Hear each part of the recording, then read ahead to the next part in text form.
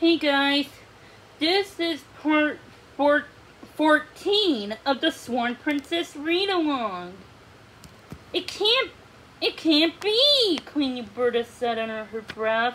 Derek moved towards the stairs. Around him, the guests muttered, murmured in disbelief. Uberta leaned toward the podium. Rogers, who is it? Do you know her?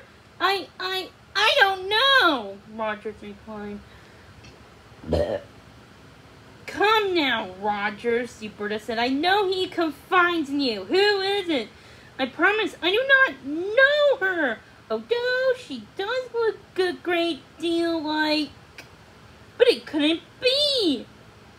Queen Uberta squinted at the young lady, whose face resembled the poor dead daughter of King William. Could it? Derek approached his beloved. Loved. He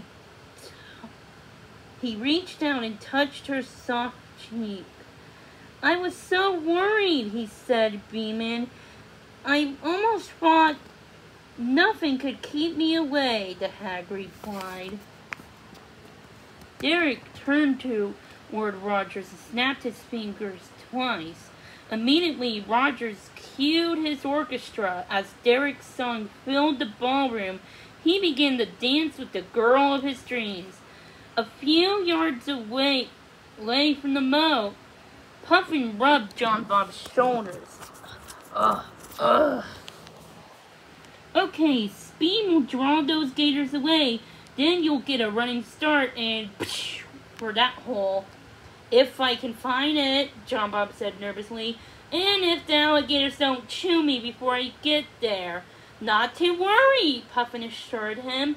Speed will rush to help. Suddenly, I'm full of comfort. Puffin raised his wing high across the moat. Speed waited for his signal. On your mark, Puffin bellowed. Jean-Bob shook his legs and crouched into into a sprinter's position. Speed began shouting at the alligators. Hey, you old letterheads! Come and get me! Come on, bug eyes! This way, chicken lips!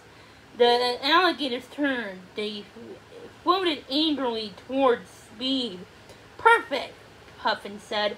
Okay, ready, set, go! Jamba bounded, bounded towards the moat. Faster, Puffin urged. Faster! Higher and higher Jean-Bob leapt. leaped. Sure, he muttered. Come on, Jean-Bob, race to your death. The alligators were floating in Speed's direction. Their backs were to Jean-Bob, but not for long. Long, one of them looked backward for a moment. His eyes met Jean-Bob. Bob's. Instantly, he turned. Jean-Bob tried to trying to pull up short, but he was too fast. With a terrified scream, he bounced into the water. He rose to the surface. He was looking into the eyes of two hungry alligators. Ah! He began screaming for, for his life. Soon, Speed whizzed by him. Get moving, moving, Slowpoke, he called to Jean-Bob. Slowpoke, Jean-Bob said. The alligators tore past him, intent on, ca- intent on catching speed. So that's how the turtle got his nickname. Name. Jean-Bob dove underwater. He swam to the wall of the water dungeon. He examined it, block by block. Where was the opening? Any luck? came Speed's voice. Jean-Bob looked around. Before he could answer, a wall of gators swam into view. Speed darted out of the way. This time the alligators didn't go after him. They headed straight for Jean-Bob. John Bob had no time to think. If he didn't do something drastic, he was dinner for sure. The hole.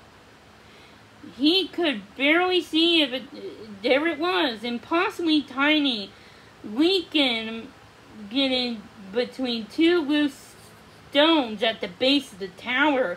Thrusting his legs, he shot into the tiny opening. Funk! he made it halfway. Jean-Bob twisted, but his body was only jammed tighter and tighter. He was stuck!